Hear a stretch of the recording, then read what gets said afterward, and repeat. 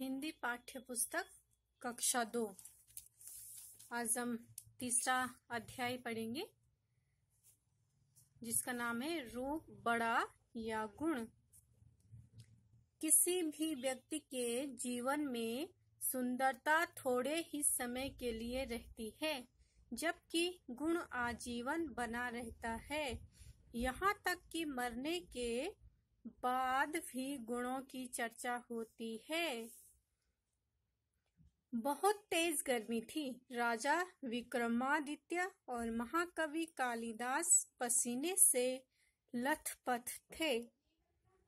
महाकवि, आप दुनिया के सबसे बड़े विद्वान हैं। यदि ईश्वर ने आपको सुंदर रूप भी दिया होता तो कितना अच्छा होता। क्या अच्छा होता और क्या बुरा होता, इसका फैसला कभी बाद में कर लेंगे। अभी तो मिट्टी की सुराही का ठंडा पानी पीजिए, गर्मी से राहत मिलेगी। बिल्कुल, यह ठंडा पानी ही जीवन का आधार है। अभी चलता हूँ महाराज, आप भी आराम कीजिए। दूसरे दिन, सेवक बहुत गर्मी है, जल्दी से ठंडा पानी पिलाओ। जी हुजूर, लीजिए। क्या आज तूने सुराही में उबला हुआ पानी भरा है? नहीं हुजूर, आज मैंने मिट्टी की सुराही की जगह सोने की सुराही में पानी भरा है, इसीलिए पानी ठंडा नहीं हुआ। कहाँ गई मिट्टी की सुराही? किस मूर्ख के कहने पर तूने यहाँ सोने की सुराही रखी और उसमें पानी भरा? महाराज, वह मूर्ख मैं ही हूँ। मैंने ही यहाँ सोने की सुराही रखवाई थी।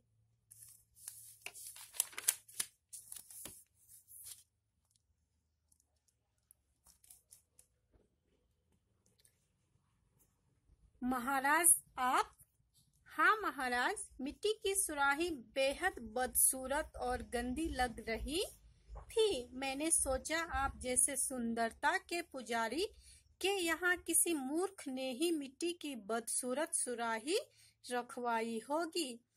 इसलिए उसके स्थान पर मैंने सुंदर सी सोने की सुराही रखवा दी। महाराज, ऐसी सुंदरता किस काम की है?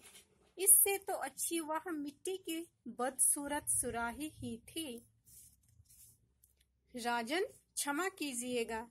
यही बात तो मैं आपको समझाना चाहता था कि रूप बड़ा नहीं होता है, गुण बड़ा होता है।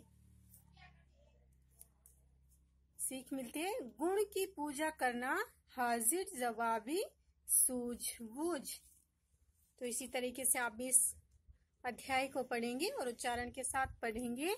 और उसके साथ साथ यहाँ पर आपके पास शब्दार्थ है। जैसे लिखा है, महाकवि, महान कवि, राहत, आराम, हुजूर, श्रीमान, बेहद, बहुत अधिक, विद्वान, पढ़ा लिखा व्यक्ति, आधार, सहारा, मूर्ख ना समझ बदसूरत, भद्दी सूरत वाला तो अध्याय को पढ़ने के बाद आप इन शब्दार्थ को पढ़ेंगे और पढ़ने के साथ साथ इनको अपनी कॉपी में लिखेंगे। और कॉपी में सबसे पहले आप पाठ का नाम डालेंगे। पाठ तीन, रूप बढ़ाया, गुण। और इसके साथ साथ आप जब आप ये शब्दार्थ लिखेंगे तो आप अपनी सुंदर हैंड राइटिंग के साथ इस शब्दार्थ को लिखेंगे, कॉपी में लिखेंगे। और बाकी जो प्रश्न के उत्तर हैं, वो मैं आपको बाद में बताऊँगी। किस तरीके से करनी हैं।